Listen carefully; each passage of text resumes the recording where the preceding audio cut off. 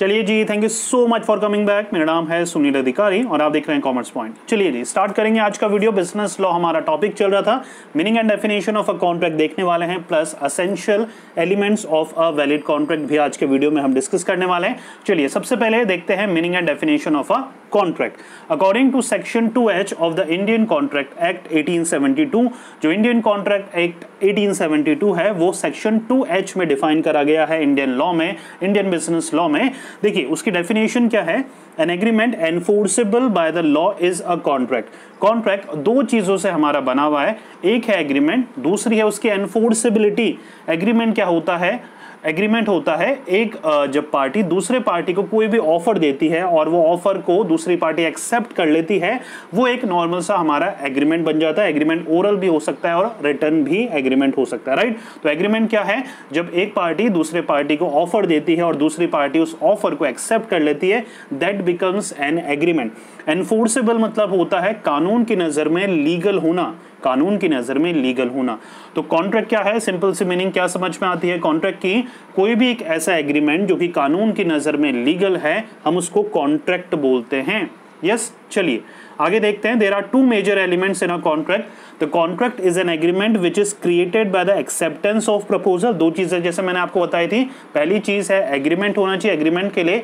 एक पार्टी दूसरे पार्टी को प्रपोजल देगी ऑफ़र देगी और दूसरी पार्टी उस ऑफ़र को एक्सेप्ट कर लेगी। दैट बिकम्स एन एग्रीमेंट और दूसरी चीज़ this agreement is enforceable by law and creates legal obligation between the parties कानून की नज़र में वो लीगल होना चाहिए और जब वो एग्रीमेंट लीगल होता है तो दोनों के बीच में कॉन्ट्रेक्चुअल रिलेशनशिप क्रिएट होती है between the two parties right therefore contract equals to agreement plus enforceable by law हो रहा है बच्चों क्लियर ये डेफिनेशन भी, ये फॉर्मूला भी आपको अच्छे से लर्न करना है।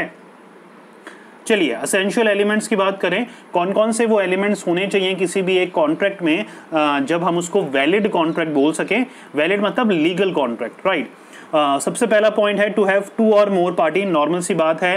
किसी भी कॉन्ट्रैक्ट के लिए दो या दो से ज़्यादा पार्टी होनी चाहिए। क्योंकि एक पार्टी ऑफ़र देती है, दूसरी पार्टी उस ऑफ़र को एक्सेप्ट करती है तो एक ही पार्टी होगी तो वो खुद को ही ऑफ़र देगी, खुद ही एक्सेप्ट कर लेगी, ऐसा नहीं होता right therefore the first element of an valid contract is to have at least two party a proposer एक पार्टी होती है जो ऑफ़र देती है, जिसको हम प्रपोजर बोलते हैं या फिर प्रोमिसर बोलते हैं, और दूसरी होती है जो ऑफ़र को एक्सेप्ट करती है, जिसको हम ऑफरी बोलते हैं या प्रोमिस ही। बोलते हैं पूरा बच्चों क्लियर चलिए दूसरी जो इंपॉर्टेंट एलिमेंट्स है वैलिड कॉन्ट्रैक्ट का, वो है एग्रीमेंट बिल्कुल ठीक है। दोनों के बीच में एग्रीमेंट होना चाहिए। एग्रीमेंट कब होता है, जैसे मैंने आपको बताया, एक पार्टी जब दूसरे पार्टी को ऑफ़र देती है और दूसरी पार्टी उस ऑफ़र को एक्सेप्ट कर लेती है दैट बिकम्स एन एग्रीमेंट हो रहा है बच्चों क्लियर तीसरा है intention to create legal relationship अब दोनों जो पार्टी है उन दोनों का इंटेंशन होना चाहिए लीगल रिलेशनशिप को क्रिएट करने का। अगर दोनों का मन या इंटेंशन नहीं है लीगल रिलेशनशिप को क्रिएट करने का या फिर दोनों उस रिलेशनशिप में नहीं है कि लीगल रिलेशनशिप क्रिएट कर सकें तब वो वैलिड कॉन्ट्रैक्ट नहीं कहलाया जाएगा राइट इसलिए husband wife father daughter family relation relatives में आ, कॉन्ट्रैक्ट नहीं होता है, क्योंकि इन दोनों के बीच क्या होता है? कॉन्ट्रेक्चुअल रिलेशनशिप स्टेब्लिश नहीं हो पाता, क्योंकि यहाँ पर इंटेंशन नहीं होता लीगल रिलेशनशिप को क्रिएट करने का। राइट, चलिए। Fourth one is your contractual capacity in party. अब देखिए, कॉन्ट्रेक्चुअल कैपेसिटी होना बहुत ज़रूरी है। कॉन्ट्रेक्चुअल कैपेसिटी मतलब कि दोनों जो पार्टी हैं, जो भी कॉन्ट्रैक्ट कर रहे हैं, जो भी एक पार्टी दूसरे पार्टी को ऑफ़र दे रही है, एक्सेप्ट कर रही है, एग्रीमेंट बन रहा है, एनफोर्सेबल हो रहा है, वहाँ पर बहुत ज़रूरी है।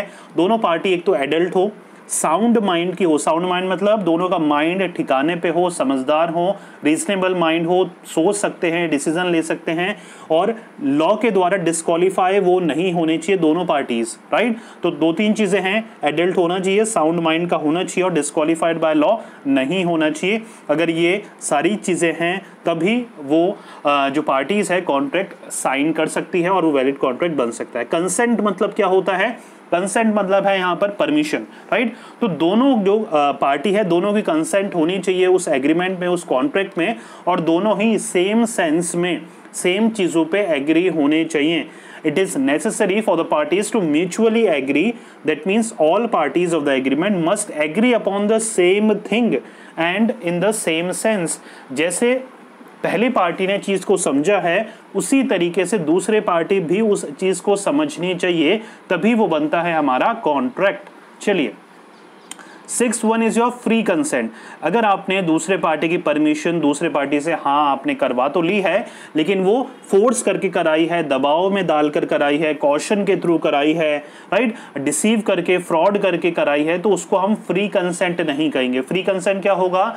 जब आप दूसरे पार्टी को हाँ या ना बोलने का पूरा पूरा मौका दें, आप उस पार्टी को प्रेशराइज ना करें, ना तो फिजिकली ना फिर मेंटली पूरा बच्चों क्लियर चलिए seventh one is your lawful consideration consideration क्या होता है लॉ में? दोनों पार्टीज़ को कॉन्ट्रैक्ट करने से कुछ ना कुछ फ़ायदा होना चाहिए राइट जैसे कि मान के चलिए ए और बी दो पर्सन है।